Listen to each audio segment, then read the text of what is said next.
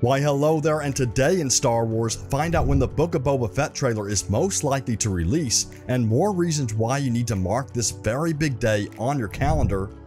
Donnie Yen wants to return to Star Wars as Chirrut, find out what he says about this. And fans rally together for Plo Koon's return after Disney releases official concept art of Plo Koon for The Mandalorian Season 2. With the Book of Boba Fett right around the corner and director Robert Rodriguez already building up anticipation for the series, which is set to debut in December, fans now want to know one thing and one thing only when will the trailer drop for the Book of Boba Fett? Well, there's one specific day in particular that looks to be the most obvious day. And just recently, Disney announced that the very first Disney Plus Day, a day to celebrate the Disney Plus platform and its many shows and movies, will take place on November 12th of this year. And this day is a very special day to Disney, as revealed by CEO Bob Chapek, who said the following about Disney Plus Day. Disney Plus Day will have an unprecedented company wide promotional campaign. We're going to have a real exciting lineup, as you might guess, as we approach those consumers that have not yet signed up for Disney Plus with a really attractive group of titles to be announced. End quote. So not only can we expect some big announcements on or around November 12th, but Disney is also holding their quarterly call with investors, which is yet another reason for Disney to really promote new and upcoming shows, such as the Book of Boba Fett and even unannounced projects as well. Therefore, it only makes sense that November 12th or around this day will be when the first Book of Boba Fett trailer debuts, and my guess is that we will get one or two teasers a couple days beforehand on Good Morning America to lead up to the November 12th Disney Plus day, which will again most likely showcase the full Book of Boba Fett trailer in all its glory.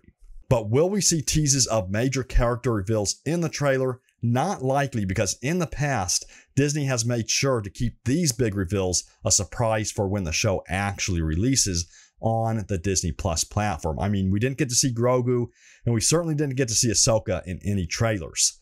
However, if there is a surprise announcement of a brand new Star Wars series, which is also possible, then anything could happen on Disney Plus Day, because there are exceptions, so anything could happen. Also, keep in mind that in the past, Disney Plus Day was called Disney's Investors Day, and Disney Investor Day usually came with huge, groundbreaking announcements such as new Star Wars series and shows.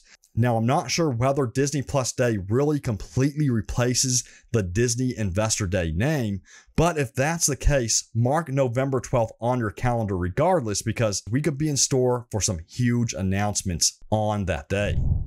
Donnie Yen, who portrayed Chirrut in Rogue One, spoke recently about wanting his character to return and how it could be very possible. Of course, Rogue One was immensely successful, and Chirrut was definitely one of the fan favorite characters of the movie. His iconic line, I am one with the Force, the Force is with me, was echoed by every Star Wars fan who left the theater that day the movie released.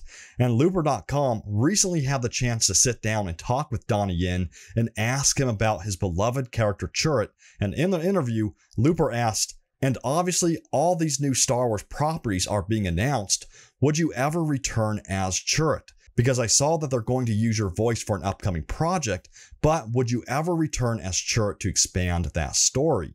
And Donnie Yen responded by saying, well, I would definitely consider it. I had a great time shooting Rogue One, and I guess people like my character. It really depends you don't know what they're thinking. I leave it up to Disney to sort it out. We'll see. I believe in destiny. A lot of times, what brings people together in one film, it's all about timing and destiny. End quote. So there it is. Donnie Yen is officially open to returning as Chirrut, and I think it could be very possible. After all, we already have the Andor series in full production, which is a series directly tied to Rogue One, and even Felicity Jones recently expressed wanting to return as Jyn Erso as well, which I made a video on just a couple days ago. So if you want to check it out, be sure to click on the link in the description to check out the channel. And not to mention that such a series featuring Chirrut could also feature Baze as well and give us fans the opportunity to learn a lot more about these characters, their story before arriving on Jedha, and the struggles and battles they went through as friends. So if you want to see a series featuring Chirrut and Baze, leave a comment down below. I personally think it'd be really cool and entertaining to see. After all, Donnie Yen, he's an amazing actor. He has that charisma, and I think he'd be great in a series featuring Chirrut as the main character. Fans have been going absolutely crazy ever since Disney revealed official concept art of Plo Koon in The Mandalorian Season 2.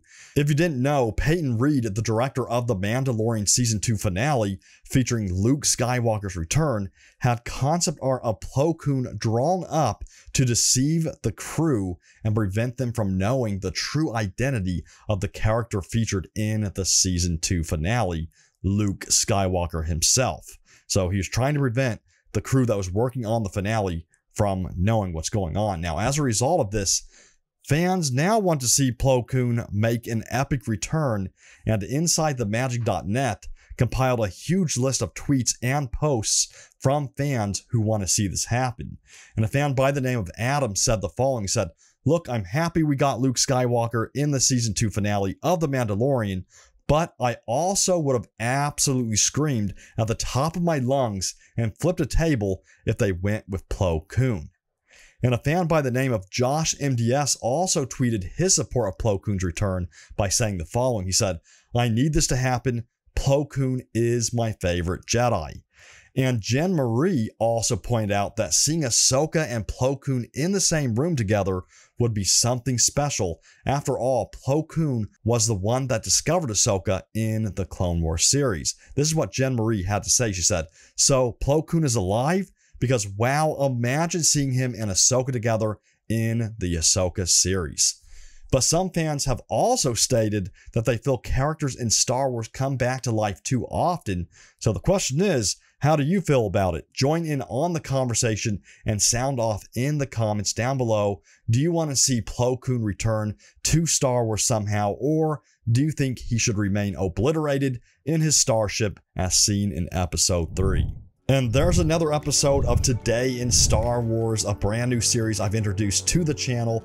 I've been doing it for about a week and a half now, so I hope you're enjoying the Today in Star Wars videos where I recap all the happenings that have been happening in the Star Wars universe throughout the day.